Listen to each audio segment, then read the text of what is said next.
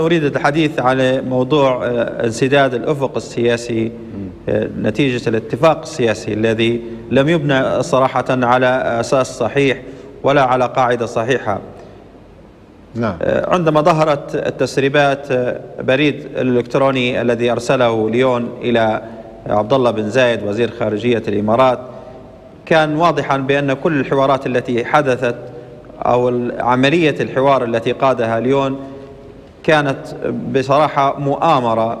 اشترك فيها ليون آه، لصالح دول إقليمية وأنا أقصد الإمارات وربما السعودية ومصر لتنفيذ أجندة خاصة بهذه الدول وللتأثير على اتجاه هذه الحوارات لتصب في أهداف معينة.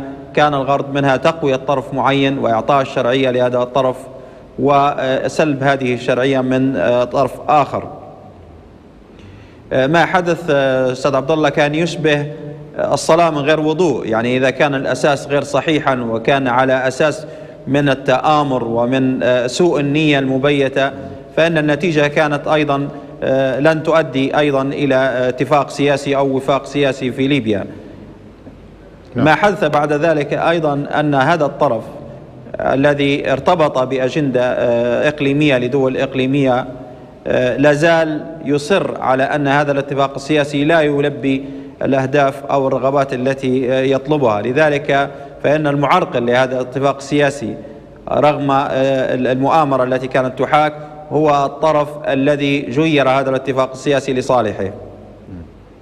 الآن نشاهد هذا الطرف يسعى للسيطره على ليبيا بواسطة الحل العسكري ويستخدم في سبيل ذلك كل الدعم المعطى إليه من هذه الدول.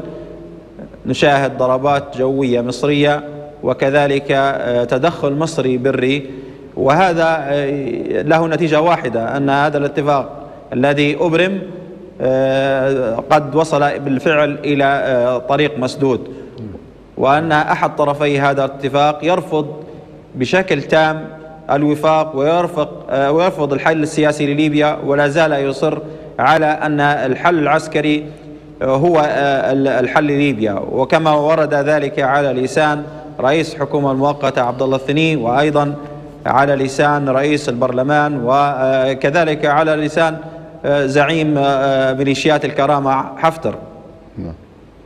فهذا الأمر أو هذا المخطط الذي يشترك فيه طرف معين وتدعمه دول إقليمية في, في هذا المجال سوف يفشل أي جهود لإجرام هذا الاتفاق.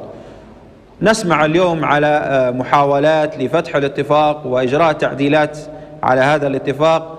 كل هذه المحاولات هي ذر للرماد في العيون لن تؤدي إلى نتيجة ولن تصلح أي آه، مشاكل في هذا الاتفاق بقدر ما أنها ستعطي وقت أطول للطرف الآخر ليقوم بالحسم عسكريا والسيطرة على المزيد من الأراضي كما شاهدنا كما حدث في الجنوب وفي منطقة الوسط في الجفرة.